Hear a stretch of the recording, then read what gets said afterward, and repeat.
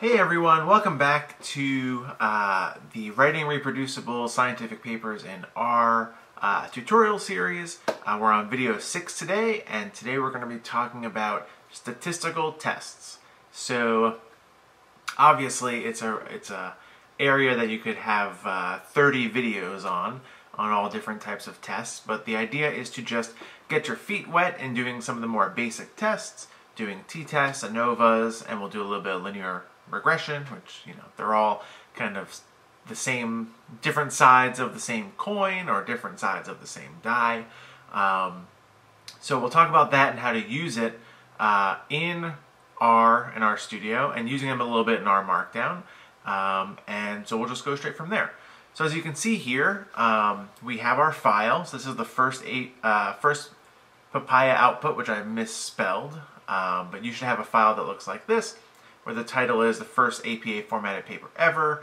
Um, I've gone ahead and I've taken some lorem ipsum kind of just uh, garbled text and I've just started filling things out so that it can start looking like a paper, right? So I've put in an abstract, um, I've gone ahead and added an introduction, so this is all false text, but you know, if you're writing a paper, you can go ahead and write the introduction before you do any statistics. And if you're writing a registered report, uh, that's something you could do. Introduction and methods are all things you can do before you collect data. So uh, here's my introduction. It's several paragraphs long. I go into methods and participants materials. This is all just filling in text. Okay, and so we get to what we've seen before. So this is loading in our iris data set, and I'll clear this for now. Um, an important thing to do before you ever start is to load your packages and you'll see a new package here called Broom, which I'll talk about in a moment. And also run your random number generator to set a seed for your analyses. That will come baked in uh, to Papaja, so you'll see that there's a seed generation block that's always there when you open a new uh, Papaja file.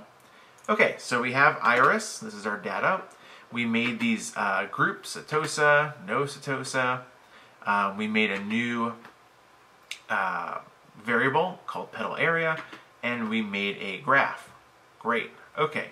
So let's start actually doing statistical tests. And I've already pre-coded these because I don't want to make a million mistakes and have you uh, have to suffer through that or me suffer through editing all of it. So we have tests already done. So let's start with t-tests, right? T-tests are a mean comparison test between two groups where you're comparing, uh, you're looking to see if the mean difference uh, between those two groups is different from zero, right? Where zero would be the null hypothesis, there's no difference between groups, literally the difference, right? The subtraction of one to the other. Um, and the alternative hypothesis is that uh, there is a difference between the two, that there is some non-zero number when you subtract one mean from the other. Okay, so we know that in our data set, iris, uh, we have three species, right? We have Setosa, we have versicolor, and we have virginica. So the first thing we want to do is we only want two groups because the t-test is only when we have two groups. So we want Setosa and versicolor. Those are the two species that I chose.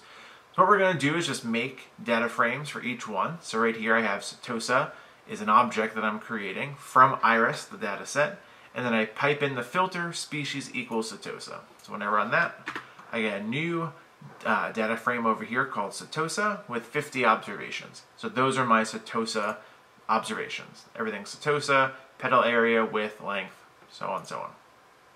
I'll do the same thing for versicolor.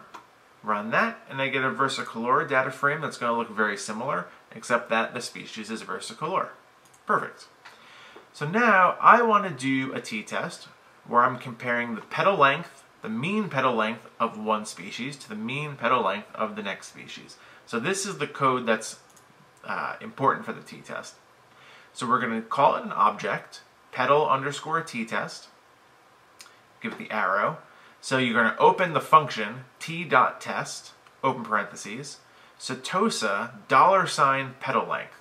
So what this is doing is saying, from the data frame setosa, take the data petal.length. So if you look at the Setosa data frame, we have petal dot length.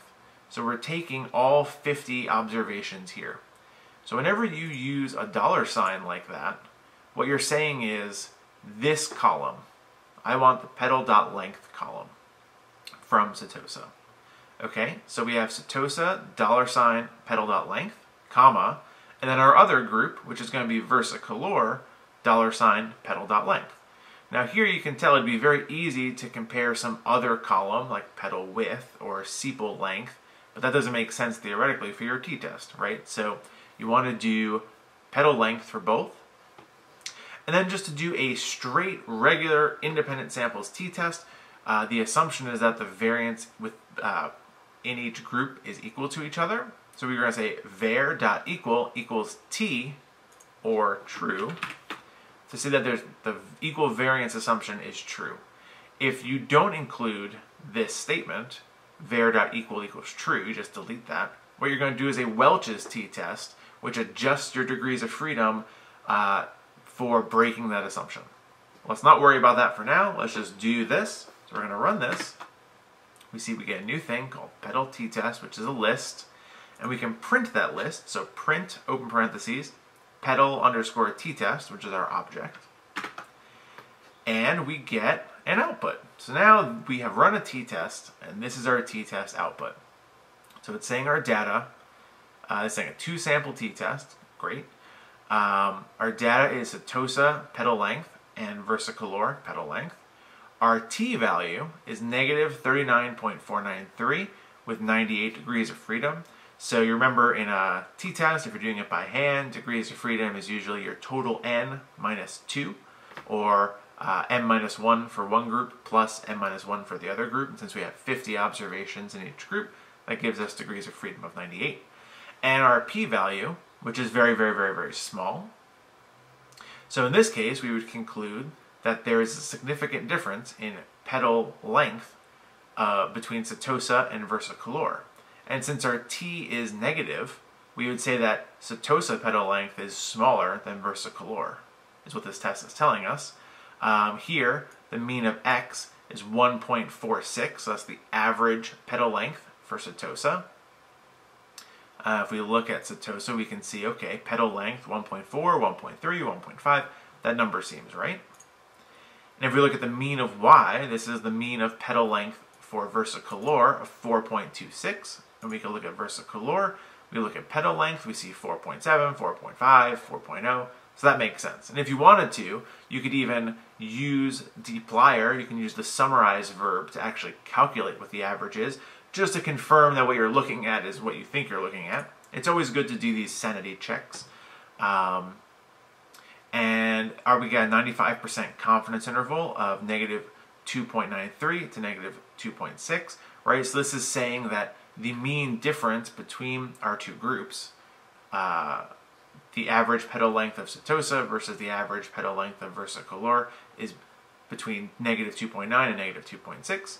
Uh, and there you go. So now you have just run a t-test saying uh, the average petal length of Setosa petals uh, is significantly less than the average petal length of Versicolor. um, and you've done it in R. So uh, given the amount of time, let's leave it there, and the next video we're going to talk about ANOVA, and I'll try to do linear model, uh, linear regression at the same time, since they're very similar, um, and perfect. So if you have any questions, please leave them in the comment section below. You can also follow me on Twitter at NickFoxStats. Uh, if you like this video and you like this series, give it a big thumbs up. Hit the bell to get notifications when the next videos come out.